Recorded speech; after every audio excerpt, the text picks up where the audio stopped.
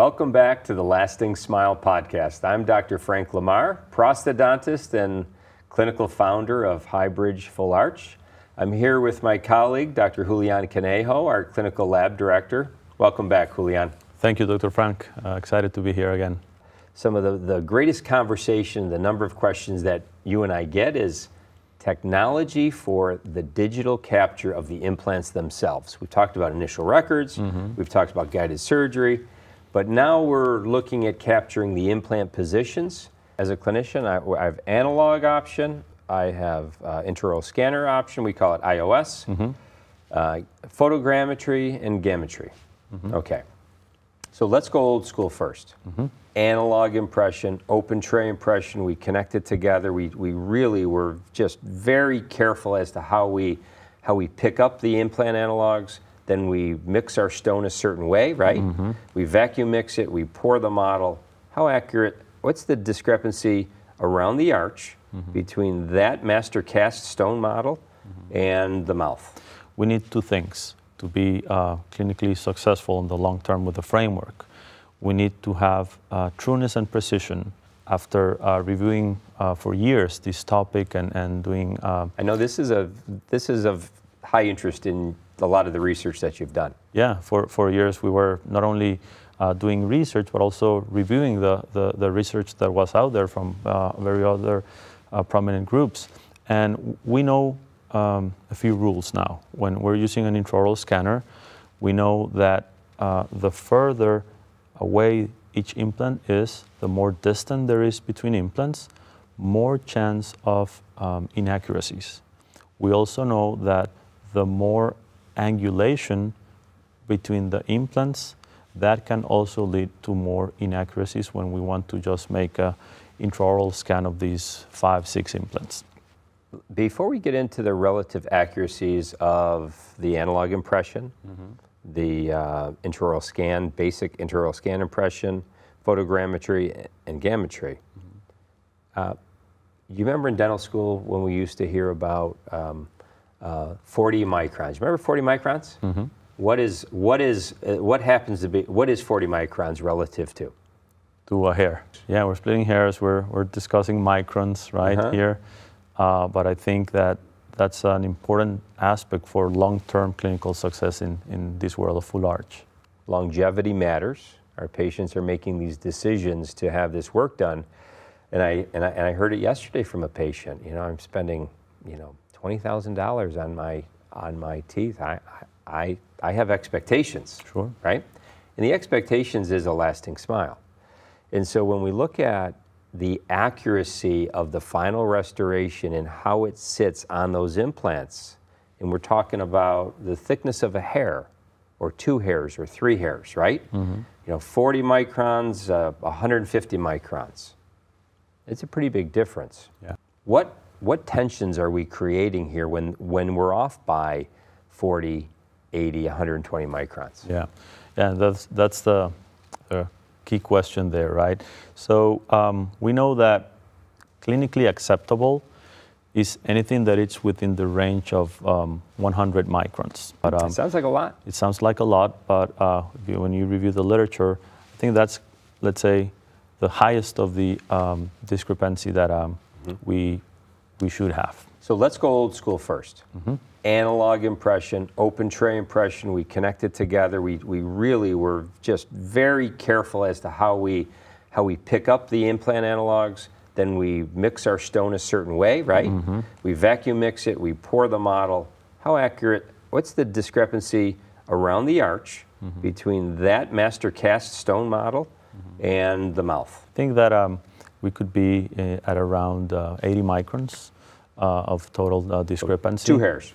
All right, so having done thousands of restorations off of analog impressions, I can tell you that as a clinician, these fingertips have gotten to be very sensitive to a lack of passivity. Now, they can't tell you 40, 60, 80, 100 microns but they can tell you when that screw starts to squeak mm-hmm. and when that resistance is going in there and i can feel the the prosthetic adapting to the position of those integrated implants you know we we know that tension creates pull or pressure and that long-term pull or pressure, we theorize, causes implants to fail. Yeah.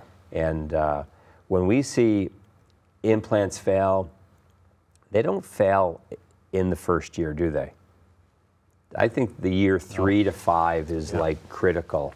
And when somebody comes back with a failed implant, um, we don't actually remember what it felt like. How passive it was. No, nobody. Re- we, you know, we we don't remember that. We just now we look at an implant failure and we say, well, you know, maybe you're not doing a great job cleaning, or maybe whatever, or you know, uh, typically it tends to lean in towards maybe the patient wasn't doing, or maybe it's the soft tissue wasn't good.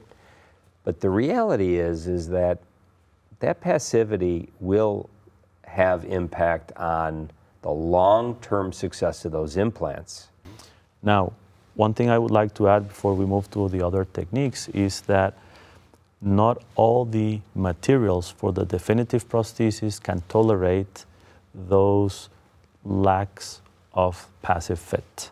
That's why titanium has been used for many years as a, a good material option because titanium gives. Titanium can deform if we are within those 80 mm-hmm. microns. It's a good point. And titanium can make your, your x-rays look good because when you start placing all the fixating screws and then you start torquing around the arch, the titanium deforms slightly. So at the radiographical evaluation, everything looks um, that is seated. Yeah, right? I mean, it, it, it, it not, not to throw out uh, terms from dental school, but the modulus of elasticity is much different on a metal framework than it is on a ceramic framework. Correct. For certain materials, now we are recommending certain types of technologies for that definitive impression because we've been moving now from a material like titanium that gives to newer materials that are more stiff and won't tolerate those um, lacks of uh, passive fit and will turn into fractures. We've got uh, potential failure points. We've got screws that loosen and fracture with lack of passivity. We've got components, abutments sort of pulling out of prosthetics. If there's a abutment like in zirconia, it pulls out. Yeah. We've got fractures of these materials. The framework. And then we have failures of implants, right? So pressure breeds complications, and again, is contrary to this concept of a lasting smile, yeah. right? So, having lived in the world of full arch for 25 years almost, I can tell you that the liabilities that build up because of lack of passivity or materials, it does matter. So, if we know that accuracy and passivity matters, and we know that the analog impression is 80 microns or two hairs. Let's talk about some of the other options that we have. Where, where does the, in, the basic intraoral scanner, wh- where does that get you relative to the scale? Yeah. So um, within the world of intraoral scanners, there are many different technologies, right? Um, the confocal microscopy technology seems to be the most accurate for full arches. And um, I would say that That would be like a Trios. a Trios, uh, CEREC Prime Scan, those are two, two great examples. Um, I would say that the level of accuracy, if we're referring to microns, we can be around um, 50 microns. Is this the best technology for full arch now? No. Uh, intraoral scanning is not the, uh, the, the, the best technology, and that's where um, we can get to the third option, which is uh, photogrammetry. Photogrammetry will capture the um, axis of the implant position, the X, Y, and Z uh, axis of the implant position, um, and it is very accurate. Photogrammetry, though, it's not new in dentistry. It's been used in the dental laboratory. Many of these um, older generation of laboratory scanners, European systems, had photogrammetry. What has happened lately in the last uh, five years is the adaptation of that technology into a chairside unit that we can use it at the moment of implant surgery for, for full arches. So to summarize, with photogrammetry, we will be capturing very accurately the position of the implants, but still we need to have available an intraoral scanner to scan and capture the soft tissues around them, to capture the bite the maxillomandibular relations, and be able to send the entire package of information to the lab so they can uh, proceed with the fabrication of the definitive prosthesis. Yeah, I don't think a lot of clinicians, when they're getting into the buying of new equipment, understand mm-hmm. that photogrammetry and intraoral scanning are, are, they're interdependent. You need both if you're going to do photogrammetry. Yeah. Let's just talk about the accuracy. Uh, less than 10 microns, correct? Uh, between 10 and 20 microns, I would say it's a, a, a reality with mm-hmm. photogrammetry.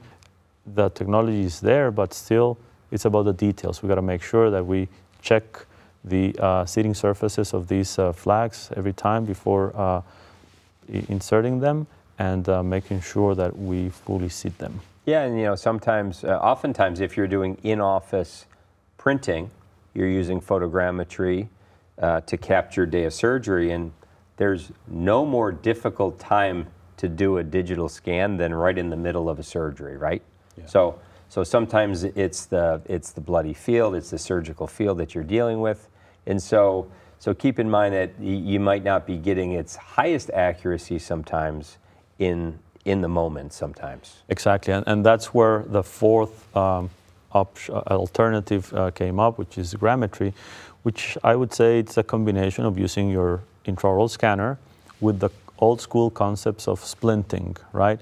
So we can place uh, any type of scan post in the mouth that we can splint and then we can remove them as a one unit outside of the patient's mouth where we're going to be working in a more dry environment and mm-hmm. control environment and we can do the uh, scan extraorally with our IOS, with our intraoral scanner. So that's uh, a grammetry and uh, it seems to, to help your uh, traditional scanner, but um, without a doubt, um, photogrammetry, I would say, is now the gold standard on these newer uh, digital technologies for full arch impressions. Just to kind of you know, wrap it up, if you were right now to, to be looking to purchase a technology that's out there, and there's a lot of sales reps out there selling things, mm-hmm. um, tell me what excites you most, price point and accuracy, like what would you recommend? Yeah.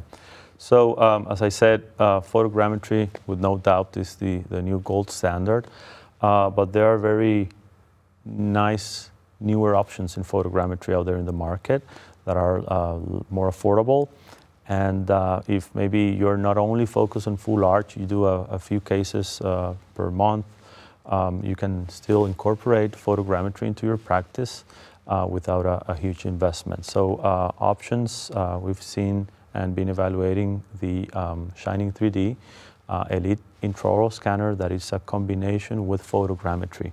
So you can use that for um, pretty much everything from a single crown, implant crown, or a full arch using the, the combination of both features with one unit. We just bought two of these units for our own office here and, and it, it is multi-use, right? Mm-hmm. It's we're using it for everyday crown and bridge or intake appointments, all the way up to because it has this photogrammetry mode mode mm-hmm. that you can turn on. Mm-hmm. It does both. Yeah. It's kind of a no-brainer, and it's actually got a very nice price point. Well, I think we've done a really nice job of hopefully giving some clarity and, and some guidance as to you know what you're going to use or maybe how you're going to use it.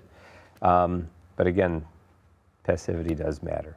And, uh, well, thanks, Julian. I, I, really appreciate your, your insights here, and I know that this is a, a really a, sort of a keen topic, and, and you've done a lot of research here. So we'll be back. Thank thanks, you. Julian.